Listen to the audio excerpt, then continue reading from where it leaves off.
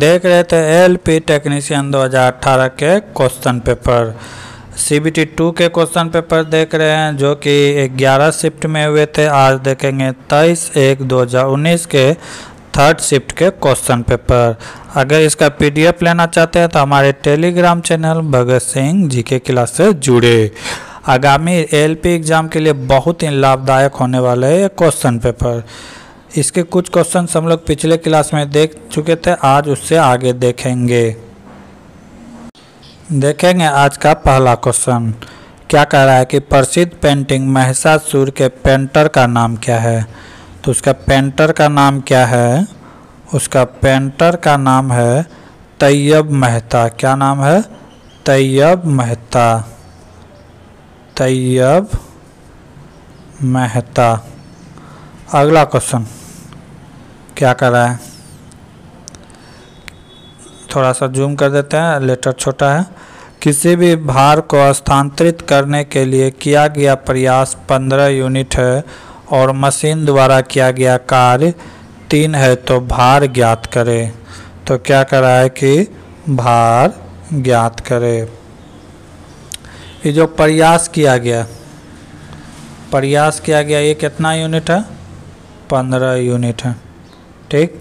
अब मशीन द्वारा लाभ, यानी कि मशीन से जो काम किया गया, मशीन द्वारा लाभ, यांत्रिक लाभ इसे कहते हैं तो कितना है? तीन।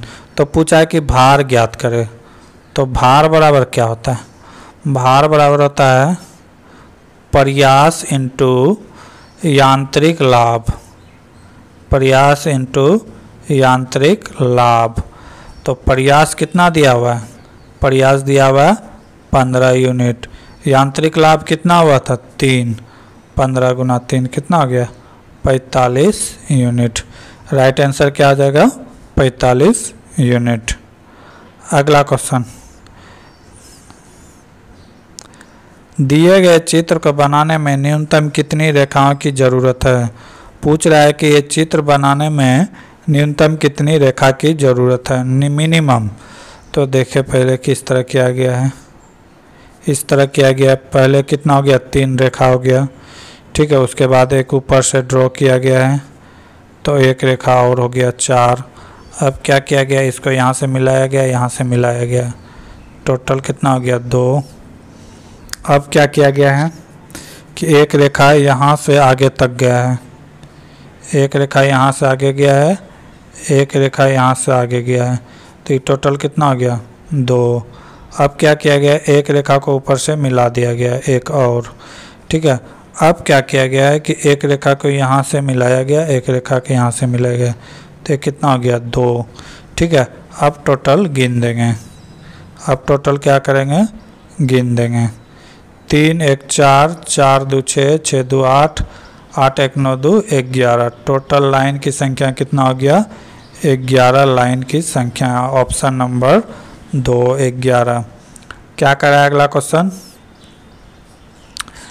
आई जे के और एल एक पंक्ति में बैठे हुए हैं। एक पंक्ति में बैठे हुए हैं। एल एल एक एल और आई एक दूसरे के बगल में बैठे हैं। ये दोनों जहाँ भी बैठेंगे, साथ में बैठेंगे, ठीक है? आई और के किनारे पर बैठा हुआ है। आई और के क्या कर रहा है कि किनारे पर बैठा हुआ एक हो गया एक, दो, तीन, चार। क्या कर रहा है कि आई और के किनारे पर बैठा है? या तो आई यहाँ पे है, या तो के यहाँ पे है, ठीक है? और दूसरा और एक फिगर बनेगा, जिसमें यहाँ तो के होगा, यहाँ पे आई होगा। अब क्या कर रहा है कि एल आई के साथ है। एल अगर आई यहाँ है तो एल यहाँ पे है। आई अगर यहाँ है तो एल कहाँ है? यहाँ पे है। अब तो बचा कौन? एक ही बचा। तो अब कह रहा है कि यहाँ पे तो जो खाली रहेगा वही बैठेगा। कौन बैठेगा यहाँ पे? जे बैठेगा। यहाँ पे कौन बैठेगा? तो जे बैठेगा। क्वेश्चन में पूछ क्या रहा है, जे के बगल में कौन बैठा है? जे के बगल में कौन बैठा है? के और एल बैठा है, यहाँ भी यहाँ भी के और एल बैठा है। तो राइट आंसर क्या हो जाएगा? के और एल बैठा है उसके बगल में। सिटिंग अरेंजमेंट का क्वेश्चन था। अगला क्वेश्चन दो प्रतिरोध 10 ओम और 20 ओम को श्रृंखला यानी सीरीज़ में जोड़ा जाता है। इसकी संयोजकता में वोल्टेज की आपूर्ति 30 वोल्ट दी जाती है। तो 10 ओम वाले प्रतिरोध की वोल्टेज क्या होगा? क्या किया गया है? देखेंगे पहले आराम से क्वेश्चन ठीक है? आराम से देखेंगे।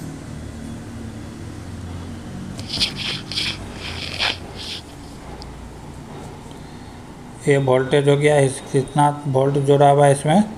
30 वोल्ट के बैटरी से जोड़ा हुआ है।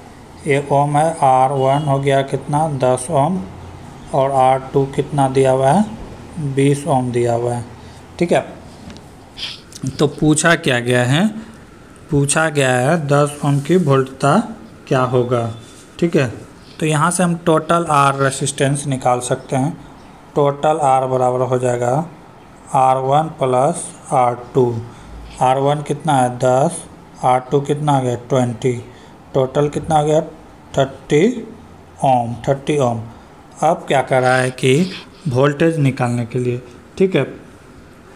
तो हम लोग जानते हैं कि आई बराबर क्या होता है? वी बाय आर आई बराबर वी बाय आर आई बराबर वी बाय आर तो वी वी का मान कितना है? ट्वेंटी आर का मान तो टोटल कितना आया है? थर्टी। एक कट जाएगा कितना बार में? एक बार में। यानी कि आई का वैल्यू कितना आ जाएगा? एक एम्पियर कितना आ जाएगा? एक एम्पियर यहाँ तक कोई दिक्कत नहीं होना चाहिए। अब आगे क्या कर रहा है कि आगे करा है दस वोल्ट ओम का प्रतिरोध क्या होगा? दस ओम का प्रतिरोध क्या होगा? दस ओम का वोल्टेज का प्रति वोल्टेज क्या होगा? प्रतिरोध का वोल्टेज क्या होगा? वोल्टेज बराबर भी बराबर क्या होता है? आई आर भी बराबर क्या होता है? आई आर आई का वैल्यू पिछले क्या निकाले थे? एक एम्पियर आई का वैल्यू कितना निकाले थे? एक। और आर का मान कितना है? दस ओम के लिए पूछा है तो दस। ये कितना हो जाएगा? टेन वोल्टेज टेन वोल्ट भी का वैल्यू क्या होगा? टेन वोल्ट अगर थर्टी के लिए ट्वेंटी के लिए भी पूछता है तो ट्वेंटी के लिए भी वही आता है, क्योंकि आई का मान यहाँ भी एक ही आता। अगला क्वेश्चन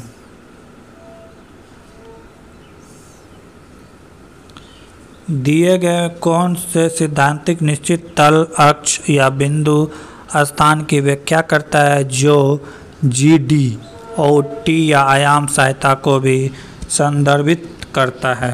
तो क्या होगा? तथ्य टेंडम अगला क्वेश्चन भारतीय रिज़र्व बैंक के पहले गवर्नर कौन थे? भारतीय रिज़र्व बैंक के पहले गवर्नर कौन थे? ए स्मिथ क्या नाम था? ए स्मिथ भारतीय बैंक का या आरबीआई का अगर बात करें तो ये भारत का सबसे बड़ा बैंक और भारत सरकार का बैंक है। आरबीआई का राष्ट्रीयकरण कब किया गया था? तो उन्नीस सौ उनचास में किया गया था। बैंकों का बैंक कहते हैं इसे। अगला क्वेश्चन निम्नलिखित समीकरण को सही बनाने के लिए कौन से दो चिन्ह को आपस में बदलना चाहिए?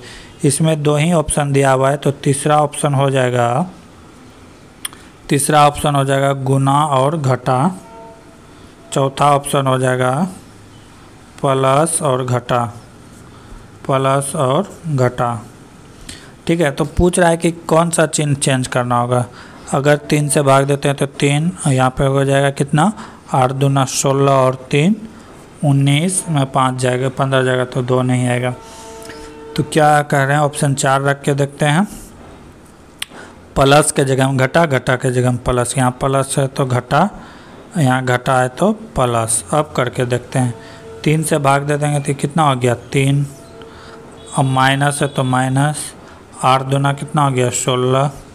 यहाँ पे कितना हो जाएगा? प्लस पंद्रह इजकल टू टू। ये दोनों को जोड़ देंगे तो कितना हो गया? अट्ठारह माइनस सोलह इजकल टू टू, यानी कि ऑप्शन नंबर डी सही है। प्लस और घटा को आपस में बदलने से राइट आंसर आएगा ऑप्शन नंबर डी। अगला क्वेश्चन। निम्नलिखित में इकाई अंक क्या होगा? इकाई अंक पूछ रहा है। अगर आप यूनिट डिजिट पढ़े होंगे, इकाई अंक तो वहाँ पे आप पढ़े ज़रूर होंगे।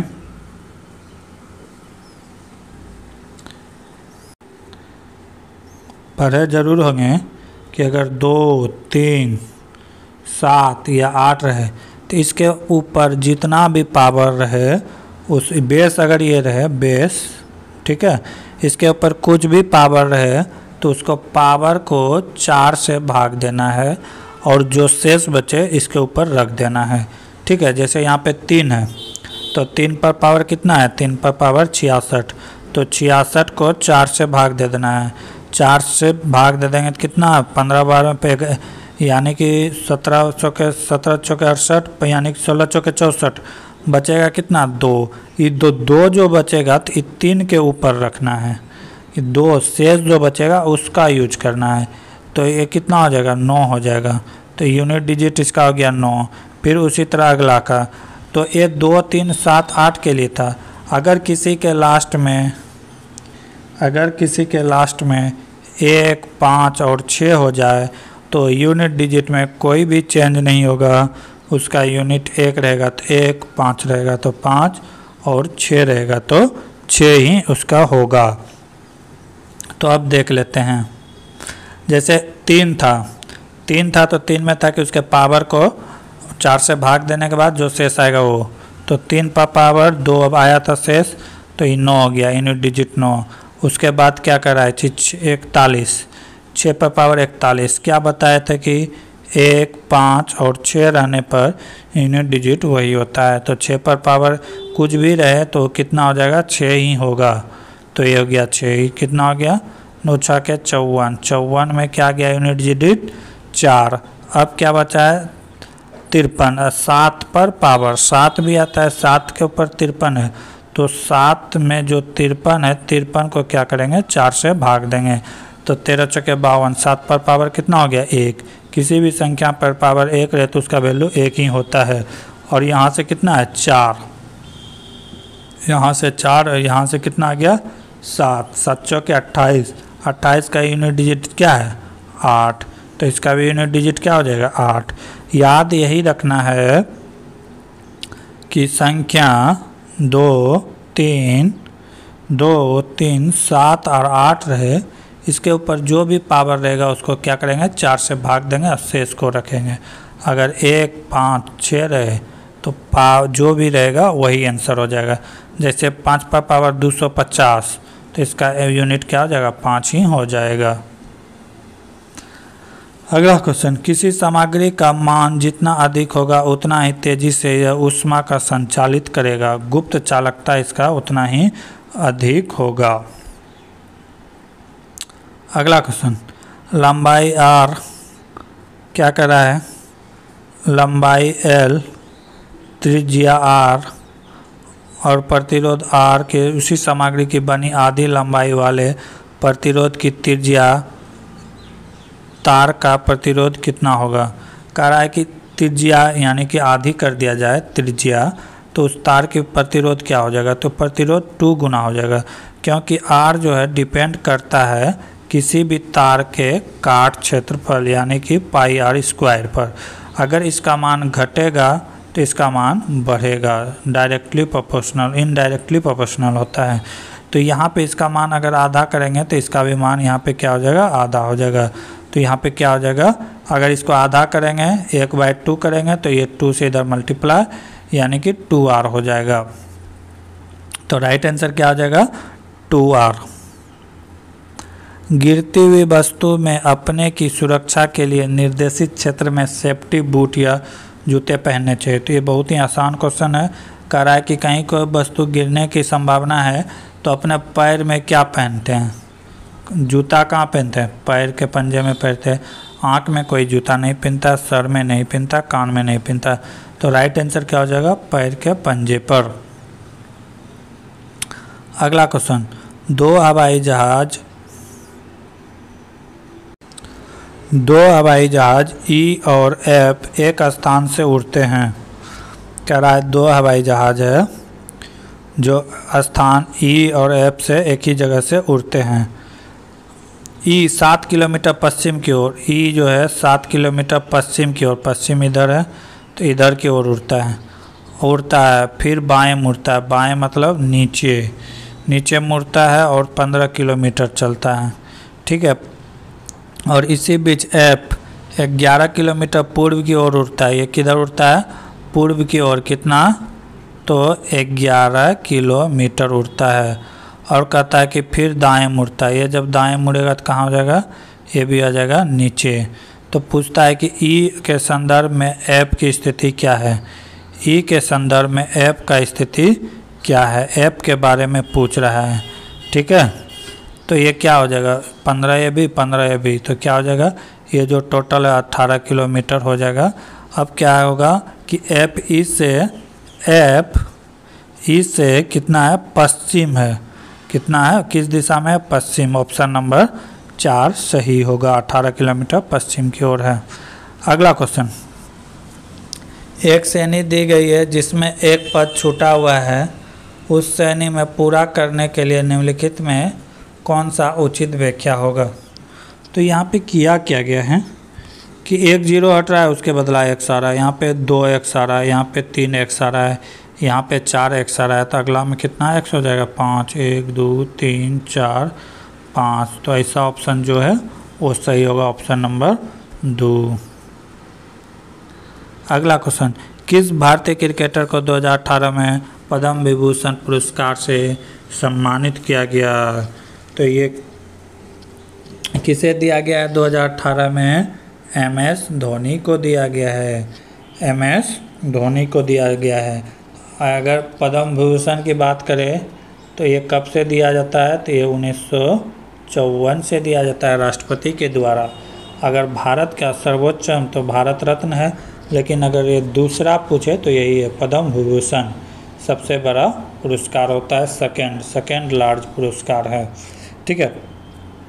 अगर सचिन तेंदुलकर की बात करें तो सचिन तेंदुलकर को 2014 में भारत रत्न दिया गया था। कब दिया गया था? 2014 में भारत रत्न दिया गया था। विराट कोहली की बात करें तो विराट कोहली को 2013 में अर्जुन पुरस्कार दिया गया था। 2017 में पद्म श्री और 2018 में राजीव गांधी खेल रत्न दिया गया था। अगर सौरभ गांगुली की बात करें तो सौरभ गांगुली को 2004 में पद्म श्री दिया गया था। अगर खेल के क्षेत्र में सबसे पहले पद्म भूषण किसे दिया गया था तो वो दिया गया था विश्वनाथ आनंद को। 2007 में पद्म विभूषण दिया गया था। अगला क्वेश्चन निम्नलिखित में कौन सा बैन आरेख भारतीय चिकित्सक और स्त्रियों के बीच संबंध दर्शाता है? भारतीय चिकित्सक और स्त्री। मान लेते हैं, ये हो गया भारतीय स्त्री भी हो गया, ठीक है इंडियन स्त्री और चिकित्सक डॉक्टर तो ऑप्शन नंबर चार सही होगा। अगला क्वेश्चन समुद्र के पानी के स्तर को बढ़ना या घटना मुख्य रूप से घूमती हुई पृथ्वी के गुरुत्वाकर्षण प्रभाव के कारण होता है। चंद्रमा पृथ्वी के चारों ओर क्या घूमता है? चंद्रमा उसके कारण होता है। अगर देखा जाए, अगर देखा जाए कि पृथ्वी पे कब आता है लघु या फिर ये क्या कहते हैं, समुद्र ज्वार भाटा, जब पृथ्वी, चंद्रमा और सूर्य तीनों एक ही लाइन पे होता है स्टेट लाइन पे तो ज्वार भाटा मैक्सिमम बड़ा वाला आता है। एक दिन में ज्वार भाटा दो प्रकार के आते हैं, एक चंद्रमा के कारण अपकेंद्रीय बल के कारण।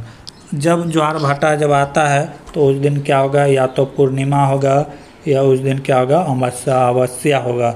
ठीक है? जब लघु ज्वार भाटा आता है तो चंद्रमा, पृथ्वी और सूर्य एक दूसरे से समकोण में होते हैं। क्या होते हैं? समकोण में होते हैं। तो उस दिन छोटा ज्वार भाटा आता है, लहर में उड़ता है। एक क्लास लीवर का प्रयास दिशा में होता है। कह रहा है कि एक क्लास का दिशा यानी कि लीवर वन का दिशा कैसा होता है? हमेशा एक दिशा में होता है। कैसा होता है? एक दिशा में। जैसे मान लेते हैं यहाँ पे क्या हो गया? लोड हो गया। ठीक है? यहाँ पे क्या हो गया? फोर्स हो गया। और यहाँ पे इसे आयास कहते हैं जो वो लगा हुआ है। जैसे कि इसका एग्जांपल हो जाएगा। साइकिल का ब्रेक, तराजू। ठीक है? नेल कटर कैची, पिलास, ये सब एक ही दिशा में। जहाँ बल रहा, बल लगा रहे हैं लोड वहीं पे हैं। ठीक है, इसे तब क्या कहते हैं? वन लीवर यानी कि एक प्रयास वाले लोड अगला क्वेश्चन वोल्ट वोल्ट भी वाले कोई स्रोत किसी परिपथ में धारा आई को बनाए रखता है तो टी में स्रोत द्वारा परिपथ को भेजी गई ऊर्जा क्या होगी? तो ये ऊर्जा क्या होगा? वी आई टी होगा, क्योंकि वर्क बराबर होता है Q इंटू, वर्क बराबर होता है Q इंटू भी, क्या होता है? W बराबर Q इंटू भी, इसी को कन्वर्ट में कर देंगे। Q बराबर क्या हो जाएगा? I, ठीक है? आई टी इंटू भी ऑप्शन नंबर दो सही है। अगला क्वेश्चन। एक दस दिन में एक काम का दो बट्टा पाँच हिस्सा पूरा करता है। कारा ए, किसी काम का दस दिन में दो बट्टा पाँच हिस्सा काम करता है तो पूरा काम कितना कर दिन में करेगा? तो दस, पाँच बटे दो। पाँच बार में कटा पच्चीस दिन में। यानी कि पूरा काम कितना दिन में करेगा? पच्चीस दिन में। बी दस दिन में उसी काम का एक बटा दो काम करता है। तो बी कह रहा है कि उसी काम का दस दिन में आधा काम करता है। तो पूरा काम करने में कितना लगेगा? बीस दिन। तो पाँच दिन मिलकर काम करते हैं, उसके बाद एक काम छोड़कर चला जाता है। तो शेष काम पूरा करने में बी को कितना दिन लगेगा? कुछ नहीं है, सवाल का लघुत्तम ले लेंगे। कितना हो जाएगा? एक सौ। ये कितना बार में? चार बार में। ये कितना बार में? पाँच बार में। यानी कि एक दिन में कितना काम हो रहा है? नौ काम। और दोनों मिलकर कितने दिन काम करते हैं? तो पाँच दिन करते हैं तो पाँच से गुना कर देंगे। कितना काम हो गया? पैंतालीस काम हो गया। बचा कितना? एक सौ में पैंतालीस चला गया तो कितना बचेगा? पचपन काम बचा है। पचपन काम बचा है तो अब ये काम करेगा कौन? कौन करेगा? ये तो चला गया, ये नहीं करेगा तो एक काम कौन करेगा? बी। तो पचपन बटे पचपन बटे पाँच, कितना हो गया? एक ग्यारह। ग्यारह दिन लगेगा। बी को कितना दिन लगेगा?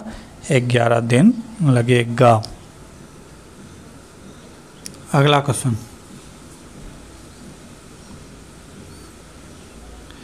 एक विक्रेता अपने कार्यालय से रवाना होकर अपनी गाड़ी से दो किलोमीटर पूर्व की ओर चलता है। मान लिए इसका ऑफ़िस है यहाँ पे। कहता है पूर्व की ओर। पूर्व किधर है? इधर। दो किलोमीटर चलता है। फिर उत्तर की ओर मुड़ता है। उत्तर किधर हो जाए ऊपर। ऊपर मिलकर कितना चलता है? सात किलोमीटर चलता है। इसके बाद वह अपने दाई ओर मुड़ता है। दाई मतलब इधर मुड़ के कितना चलता है? छः किलोमीटर चलता है। अंत में वह दक्षिण की ओर मुड़कर सात किलोमीटर चलता है। इधर कर कर कर रहा है? सात मीटर चलता है। तो अपनी आरंभिक स्थिति से अब कहाँ है? आरंभिक स्थिति से वो कहाँ है? थोड़ा सा यहाँ पे मिस्टेक हुआ है, बाई और कहेगा तो फिर यहाँ मुड़ेगा, फिर इधर। तो ये कितना गया? दो और इधर कितना गया? छः। टोटल दूरी कितना आ गया? आठ किलोमीटर। कहाँ? यहाँ से पूर्व की दिशा में है। किधर है? पूर्व की दिशा में। ऑप्शन नंबर सी सही है। अगला क्वेश्चन पाई चार्ट में कंपनी विभाग विभिन्न खर्चों पर प्रदर्शित, प्रतिशत प्रदर्शित कर रहा है। चित्र में अध्ययन और निम्न प्रश्न का उत्तर दे। यदि कुल खर्च पच्चीस हज़ार है, कुल खर्च पच्चीस हज़ार है तो ब्याज में लगभग कितना प्रतिशत खर्च किया गया है? ब्याज में इसने ने कितना इंटरेस्ट में दिया है तो दस परसेंट। तो पच्चीस हज़ार का दस परसेंट निकाल देंगे। दस बट्टे एक सौ, एक ज़ीरो से एक ज़ीरो एक ज़ीरो से एक ज़ीरो। कैंसिल कितना हो गया? पच्चीस सौ। राइट आंसर क्या आ जाएगा? ऑप्शन नंबर सी, क्योंकि इंटरेस्ट में कितना खर्च किया था? दस परसेंट। अगला क्वेश्चन कोई मोटरसाइकिल 36 किलोमीटर प्रति घंटा की रफ्तार से एक हज़ार मीटर दूरी तय करता है तो इस दूरी को तय करने के लिए मोटरसाइकिल द्वारा कितना समय लिया गया है? सेकेंड में बताना है, क्योंकि क्वेश्चन क्या कर रहा है? सेकेंड में पूछ रहा है यहाँ पे, सेकेंड में। ठीक है, कितना किलोमीटर? छत्तीस। तो इसको हम मीटर पर सेकेंड में बदल लेंगे, क्योंकि मीटर में दूरी तय किया है। तो छत्तीस को कैसे बदलेंगे? पाँच बटे अट्ठारह से गुना कर देंगे। तो ये कितना हो गया? दो बार में पाँच दूना दस। इसका चाल कितना हो गया? दस मीटर पर सेकेंड, यानी कि 10 मीटर पर सेकेंड। तो चाल बराबर क्या होता है? चाल बराबर होता है दूरी बटे समय। इसको चाल निकालना था, ठीक है? अब यहाँ से चाल पता चल गया है। हमको क्या पूछा है? समय। समय निकालना है, ठीक है? क्या निकालना है? समय चाल हमें पता चल गया कितना है। दस मीटर पर सेकेंड। दूरी कितना है? एक हज़ार। समय कितना है? समय निकालना है। एक्स एक ज़ीरो से एक ज़ीरो कैंसिल। एक्स का वैल्यू कितना आ गया? एक सौ सेकेंड। एक सौ second. Option number D right होगा। यदि किसी मानक इंजीनियरिंग की आर एक सीट में चौड़ाई 441 mm है तो इसकी लंबाई कितना होगा? तो इसका लंबाई कितना होगा? ये होगा ग्यारह सौ एट्टी नाइन ग्यारह सौ एट्टी नाइन कुछ यहाँ पे मैं फार्मूला लिख देता हूँ, जिसे देख लीजिएगा। आगामी एग्ज़ाम के लिए बहुत ही ज़रूरी होगा। ठीक है? अगर सब ये ज़ीरो लिखा हुआ है तो ये चौड़ाई ब्रीथ ठीक है? ब्रीथ इंटू लेंथ यहाँ पे उसके बारे में बता रहे हैं। ठीक है, सारा जो यूनिट होगा वो एम में होगा। अगर ए वन है तो कितना होगा? आठ सौ इकतालीस गुना ग्यारह सौ एट्टी नाइन ठीक है एम में है सारा। ए वन हो जाएगा तो ए हो जाएगा पाँच सौ चौरानवे इंटू आठ सौ इकतालीस एम में। ए टू बराबर हो जाएगा ए टू बराबर हो जाएगा चार सौ बीस इंटू पाँच सौ चौरानवे ठीक है ए थ्री बराबर हो जाएगा ए थ्री बराबर हो जाएगा दो सौ संतानवे इंटू चार सौ बीस। दो सौ संतानवे इंटू चार सौ बीस। और ए फोर हो जाएगा ए फोर बराबर हो जाएगा दो सौ दस गुना दो सौ संतानवे दो सौ संतानवे। एक बात यहाँ पे ध्यान दीजिएगा, जिसका इसका फ़र्स्ट है, उसका लास्ट हो रहा है। जैसे चार सौ इकतालीस यहाँ आ रहा है, फिर पाँच सौ चौरानवे यहाँ आ रहा है, ठीक? फिर फिर चार सौ बीस यहाँ आ रहा है, फिर दो सौ संतानवे यहाँ आ रहा है। तो ये पहले का लास्ट और दूसरे का फ़र्स्ट हो रहा है। तो ये फार्मूला है इंजीनियरिंग ड्राइंग का, लेकिन सारा दूरी क्या चीज़ में है? एम एम का, इसे याद कर लीजिएगा। ये पूछेगा ही ड्राइंग अगर पूछेगा तो इससे क्वेश्चन रहेगा। अगला क्वेश्चन चार अंकों की एक संख्या। ग्यारह से पूर्णतः विभाजित हो तो x माइनस वाई का मान क्या होगा? ग्यारह से कटने का नियम क्या है? कि या तो दोनों संख्या के बीच का अंतर ज़ीरो हो, या सम विषम का अंतर कितना हो? ग्यारह हो। तो उसी बेस में बन जाएगा। या तो ज़ीरो हो या तो ग्यारह हो। तो क्या हो जाएगा? X plus seven minus Y plus one equal two zero होना चाहिए। तो ये कितना हो जाएगा? सेवन प्लस एक्स इधर हो जाएगा वाई प्लस वन ये होना चाहिए।